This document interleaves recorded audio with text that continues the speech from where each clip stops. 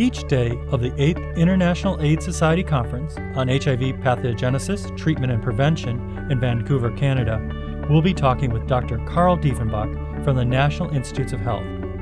Here are the highlights from July 22, 2015. It's day three of the International AIDS Society Conference 2015 in Vancouver, Canada. We're fortunate to speak again with Dr. Carl Dieffenbach via Skype. Sir, thanks for joining us each day of the conference. Today, can we start our conversation and talk about cure research?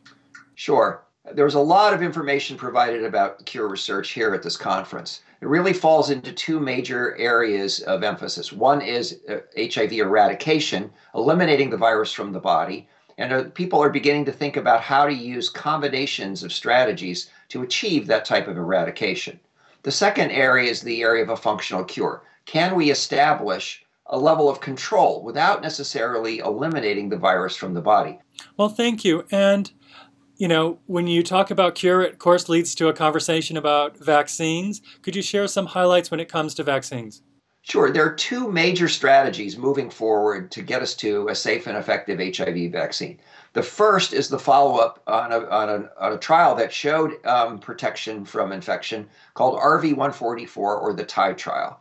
We've um, worked really uh, diligently over the last several years to develop ideas about why that vaccine worked. We are now moving forward over the next year to open studies in South Africa to specifically uh, test those new ideas and new concepts as to why that vaccine worked. This is very exciting times because we actually have some some concepts about uh, how this might actually function. And the second is the excitement around broad neutralizing monoclonal antibodies. I realize that is a mouthful. And what we have to do is then talk about these are proteins or parts of the body that would naturally uh, protect people from HIV infection, regardless of which strain of virus they were exposed to.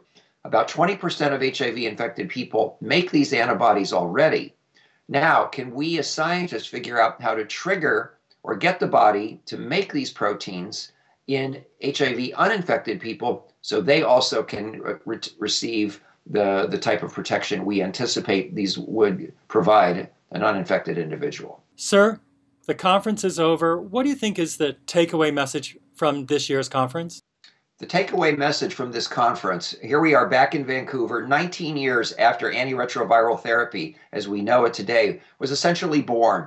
Uh, now we understand, after this period of time, the full strength and power of what um, what therapy can be. It can prevent HIV transmission, and it can also protect HIV infected people from diseases such as tuberculosis um, and some cancers. It's a big step forward.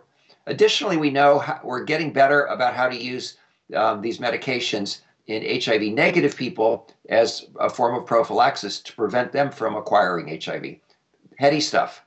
Well, sir, thank you for the information, your clarity, and your willingness to join us via Skype.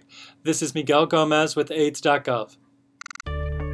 For more information on the conference, please visit IAS2015.org. And for more information on federal HIV programs, please visit AIDS.gov.